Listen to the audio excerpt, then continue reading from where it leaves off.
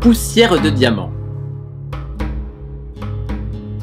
Voilà la récolte du jour, vieil homme L'interpellé relève la tête de son ouvrage et la dirige vers le sac de cuir lourdement posé sur le comptoir usé, ignorant complètement son interlocuteur. Dans un soupir et un craquement d'articulation, le vieux bijoutier se lève de son établi et vient s'asseoir sur le tabouret opposé derrière le comptoir. Il sort une petite loupe d'un tiroir qu'il coince sur son œil droit. Ses doigts tremblants défont la lanière du cuir et ouvrent la grosse bourse. Il sort une première gemme. D'apparence et au toucher, elle ressemble à un diamant. Mais le vieil homme ne fait confiance qu'à ses yeux pour s'en assurer. Il allume la lampe toute proche qui produit une lumière vive et blanche. Il approche le caillou de la source de lumière et se penche dessus. Sa vision améliorée grâce à la loupe, il inspecte chaque recoin et en profondeur la pierre.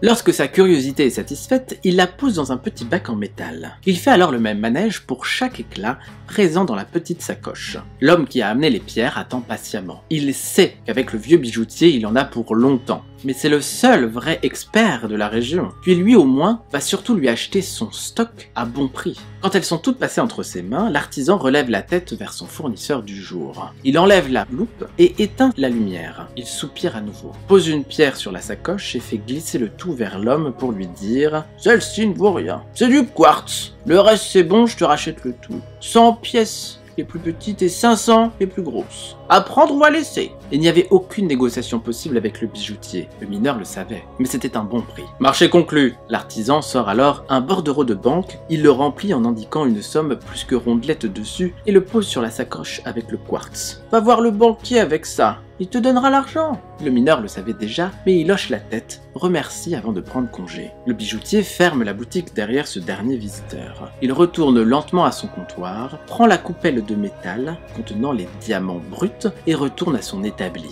Il pousse le bijou qu'il a commencé à faire avant d'être interrompu. Il allume une lampe similaire à celle posée sur le comptoir. Un fastidieux travail se présente maintenant à lui. Il fallait dégrossir, tailler et polir ses diamants. Or, considéré comme l'une des matières les plus dures, la tâche sera ardue et extrêmement longue. Mais avec ces morceaux, il pourrait faire de splendides bijoux qui vaudraient à eux seuls pratiquement la somme qu'il venait de débourser pour les acheter. Il commence par fendre la pierre, appelée aussi clivage. C'est la première vraie étape.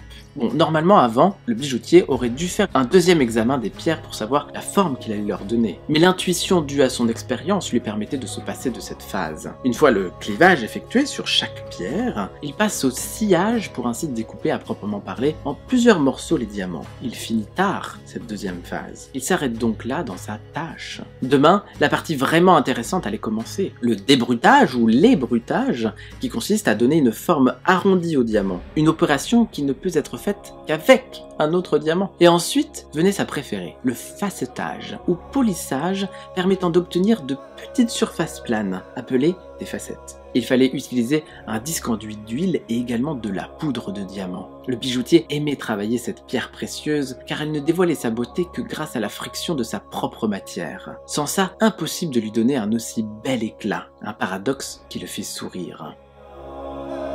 Fin et à la semaine prochaine